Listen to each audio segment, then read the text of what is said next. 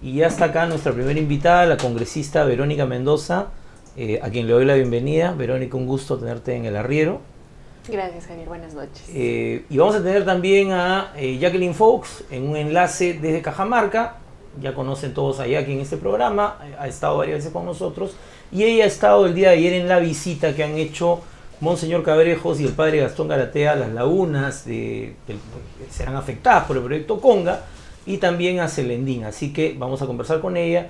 Y luego Juan Infante, columnista de Diario 16 y amigo también de La Mula, va a conversar conmigo sobre varias de sus columnas publicadas los días sábados que eh, tienen que ver con el tema de minería también y desarrollo, que seguramente es un tema que también vamos a hablar con la congresista Mendoza.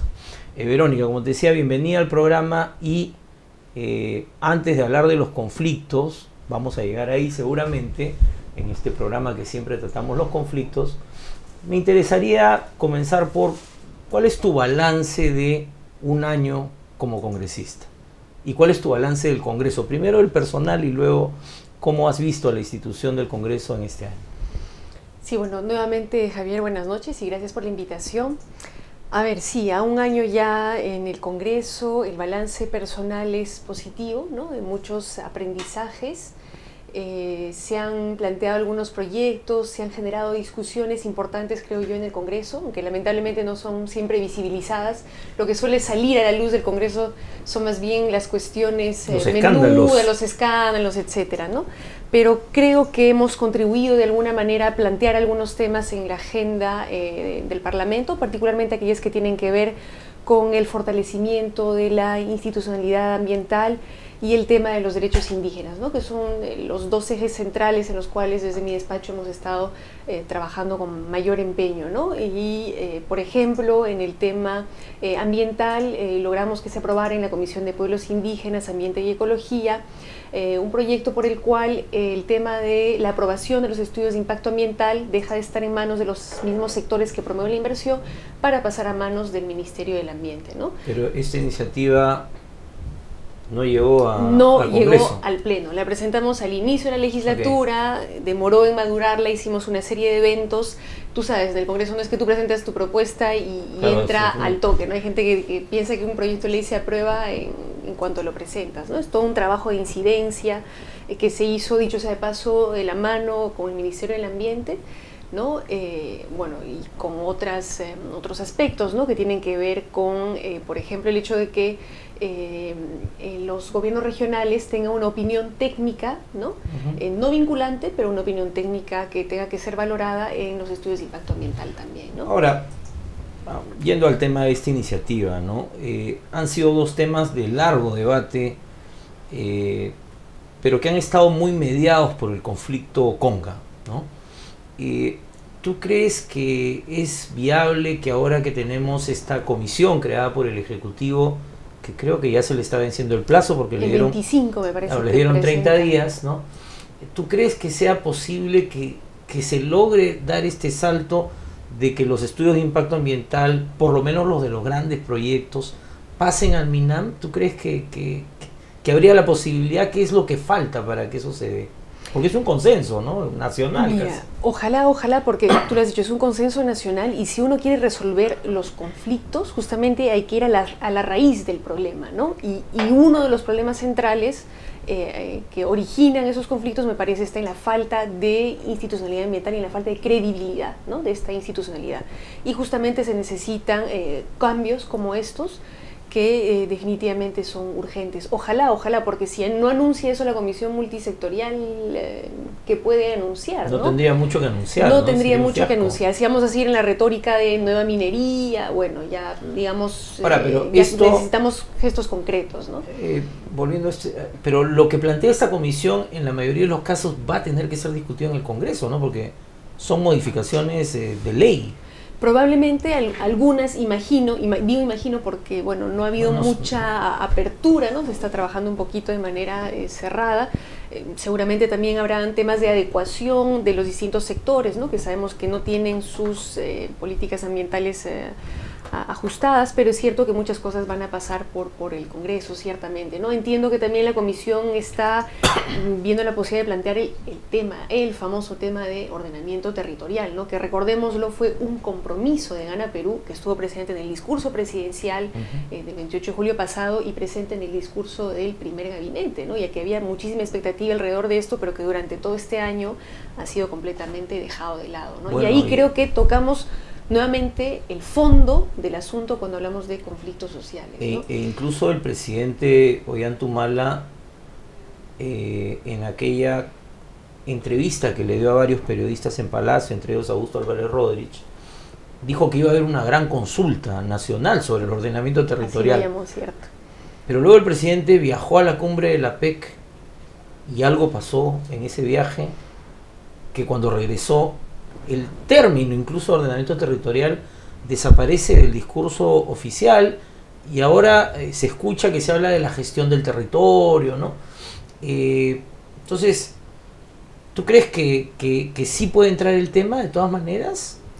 Bueno, ha sonado, ¿no? En estos últimos días, es una buena señal, ojalá, ojalá. Lo último que se pierde es la, esperanza, ¿no? Es cierto que... No le has perdido la fe al gobierno. Eh, bueno, a ver, hay que, hay que seguir creyendo, hay que seguir creyendo, pero no solamente, digamos, desde su asiento, sino impulsando también las, eh, las cosas. En todo caso, esa es una eh, discusión que eh, queremos dar también desde, desde el despacho y con otros colegas congresistas y que además creo yo va a involucrar, ojalá, pues a los gobiernos locales, gobiernos regionales, ¿no? que también son los que tienen que empezar a participar de manera más proactiva eh, del desarrollo nacional desde sus visiones locales eh, y, regionales. ¿no? ¿Por qué crees tú que, que, los gobiernos regionales, porque los has mencionado por el tema de los estudios de impacto ambiental, planteando que den una opinión aunque no sea vinculante, aunque eso igual van a decir, bueno, es un saludo a la bandera, y en el tema del ordenamiento, ¿por qué es tan importante la opinión, la, la voz de los gobiernos regionales y locales en,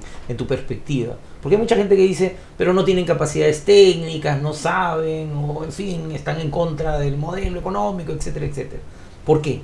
Bueno, es cierto que tenemos todavía muchas deficiencias y muchas cosas por aprender, eh, ¿no? Desde la gestión local, regional, pero eso no significa que este proceso se vaya a bloquear, sino todo lo contrario. Yo creo que es necesario impulsarlo, ¿no? El proceso truncado también de eh, descentralización, ¿no? Eh, porque creo yo que no se puede imponer eh, una visión de desarrollo de manera centralista desde Lima, desde la capital. ¿no? Un hecho, por ejemplo, que a mí me parece descabellado en pleno siglo XXI es que desde Lima ¿no? se decida eh, cómo se va a concesionar el territorio de una determinada provincia, distrito, eh, región, ¿no? sin consultar, sin informar a la población local, sin informar a las autoridades locales ni regionales, ¿no? Y tengamos casos alucinantes, perdóname Javier, como eh, la provincia de Chumivilcas en Cusco, que está concesionada en 90%. O sea, por favor, eso es inconcebible, ¿no? Hay que empezar a ordenar, planificar eh, nuestro desarrollo. ¿no? pero además la ley orgánica de gobiernos regionales le da la competencia a los gobiernos regionales para el ordenamiento. O sea, tienen la competencia. Efectivamente, pero... Pero no están precisadas las funciones, quizás, ¿no? Exacto, ¿no? Y creo que también pasa por, eh, digamos, un discurso político, un proceso de envergadura eh, nacional, ¿no? Porque se están instalando eh, algunas ideas, ¿no? A mi juicio, nocivas, ¿no? Esta, por ejemplo, de que sin minería no hay desarrollo, ¿no? nadie puede negar la importancia del sector minero para el desarrollo del país, seguramente lo va a seguir siendo durante unos buenos años todavía, pero pretender que es la única fuente, el único motor de desarrollo, me parece eh, también eh, peligroso, ¿no? porque creo que ningún país eh, donde se mire con responsabilidad el desarrollo a largo plazo puede pretender depender de una única actividad. ¿no? Pero es importante la minería, ¿o no? Por supuesto, importantísima, importantísima, pero primero que nada bien eh, regulada, ¿no? En términos ambientales, laborales, eh, eh, sociales, pero articulada al lado de otras actividades, ¿no? No se puede depender de una sola actividad que por un lado te utiliza recursos que son, recordémoslo, no renovables, y por otro lado que te genera dependencia, dependencia del valor de los minerales en el mercado internacional. Entonces, creo que hay que eh, apostar con mayor responsabilidad como país a diversificar la economía, impulsar sectores productivos como, por ejemplo, y ellos fue otro compromiso importante de Gana Perú, era el de promover el sector agrícola y pecuario, ¿no? en el entendido de que era un sector clave justamente para sacar al sector rural de, de la pobreza. ¿no? Pero que lamentablemente pero el Ministerio de Agricultura no suena ni truena. Lamentablemente, ¿no? Y hemos tenido algunos eh, hechos que nos dan señales de que más bien se va a seguir priorizando al eh, sector del gran empresariado, ¿no? De la agroexportación, como el caso de Olmos, ¿no?